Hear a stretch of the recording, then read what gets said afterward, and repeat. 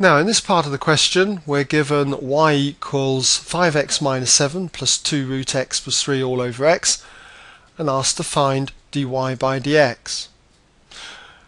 Now before we can do that this term here needs to be changed and that's why in the previous part of the question they got us to write that particular expression in this format.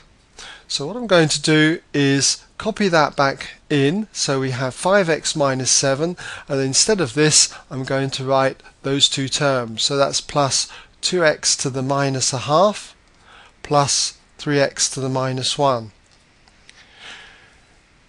now each of these terms are in the form ax to the power n Let's just put that down here. y equals ax to the power n.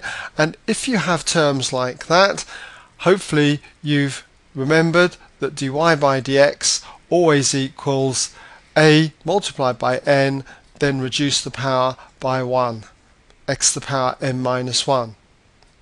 And if you're not clear on this, just go to my website, look under differentiating this type, or if you're on the page with this video, you should be able to see a link to this tutorial. So we'll start to differentiate the terms then. So we would therefore have dy by dx equals, for this term, we would just simply have 5. Differentiating a constant, you get 0. So we'll leave that out. And then when it comes to this term, 2 times minus a half is going to be minus 1 and then we would reduce the power of minus half by 1 so that's minus 3 over 2 so we have minus x to the minus 3 over 2 minus 1 and a half. Notice that you write that as a top heavy fraction. And then to differentiate this term here the power multiplied by the number in front gives minus 3 reduce the power by 1, so that's x to the minus 2. Now we're asked to simplify the terms, so what we can do here is for this term here, remember the rule that x to the power minus n is the same as 1 over x to the power n.